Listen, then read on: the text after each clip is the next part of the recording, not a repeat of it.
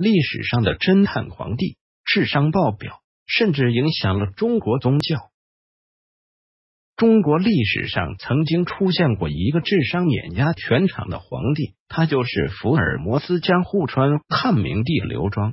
他是东汉开国皇帝光武帝刘秀的第四子，而他的生母是阴丽华，光武帝是阴丽华的头号迷弟，仕宦当做执金吾，娶妻当的阴丽华。后汉书皇后记凭借着子以母贵刘庄，以妃嫡长子的身份被立为皇太子。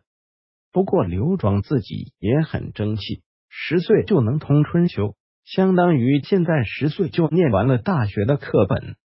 帝生而封下，十岁能通春秋，光武其之。后汉书明帝纪刘庄十二岁那年，光武帝在朝堂上听百官汇报工作，有个负责核查土地的官员读板上备注了颍川、红农可问，河南、南阳不可问。意思是颍川、红农可以查，河南。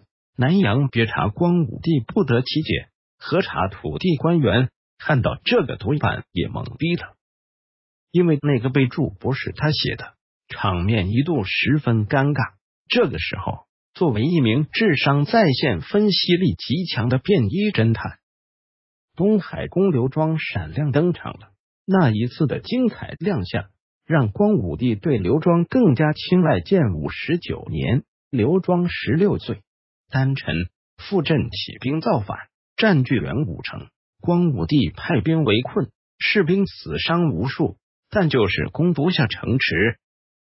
光武帝于是召集群臣研究对策，奈何群臣智商总是在关键时刻余额不足。就在这万分沮丧，甚至开始怀疑人生的时候，刘庄站了出来，凭借着这一次的精彩亮相，刘庄。被封为皇太子。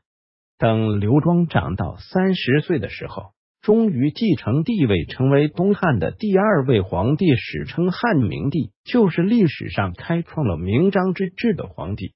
他爹光武帝是在马背上打的天下称帝时，曾对乡亲们说：“无理天下，意欲以柔道行之。”《后汉书·光武帝本纪》走的是一种老实人的施政路线。汉明帝上位之后，看到这种柔政的隐患，对内开始抑制宗室跟外戚的势力；对外方面，直接对匈奴开战，还派了班超的三十六人天团出使西域。很多国家开始臣服了汉朝，向大汉递交保护费。汉明帝在对待百姓方面施以仁政。当时整个国家的意识形态是以儒学为主。基本是士族阶层的专属，百姓看到哪些儒学经典，基本都是蒙的。老百姓在解决温饱问题后，没有精神慰藉，一闲下来就很容易搞事，搞点巫蛊，画个圈圈诅咒你之类的。西汉末年的时候，已经有少许佛教传到了民间。